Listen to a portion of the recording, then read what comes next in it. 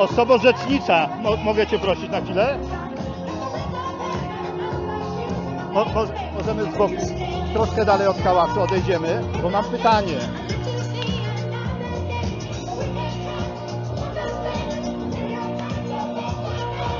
Jak już podjęłaś się tej funkcji, to mam nadzieję odpowiesz mi na pytanie. Sprawiedliwość klimatyczna, co to jest? Bo hasło przecież dzisiejszego marszu jest sprawiedliwość klimatyczna. Możemy trochę, trochę dalej, bo nic nie słychać. Jest duży hałas, ale spróbujemy.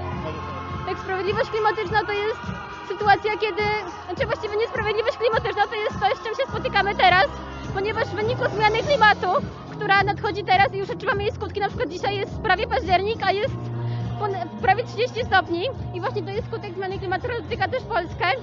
I chodzi o to, że nierówności społeczne i niesprawiedliwości na tym świecie pogłębiają się właśnie przez katastrofę klimatyczną i kryzys klimatyczny.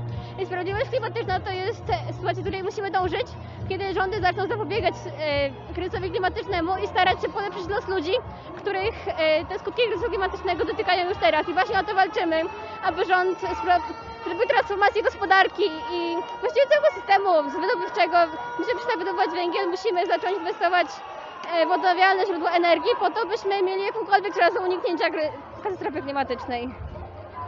Dziękuję bardzo. Przestawisz się? Julia Kin. Dziękuję bardzo. Cała planeta ma przez nas problem. Bądź rozwiązaniem, nie kłopotem teraz. Tak, tak, tak, chcemy zbudować lepszą przyszłość. Trzeba zrobić to na już. Wiemy, że dekarbonizacja musi nastąpić. Wiemy, że im dłużej politycy będą zwlekać z działaniami, tym trudniej będzie przeprowadzić transformację w sposób sprawiedliwy.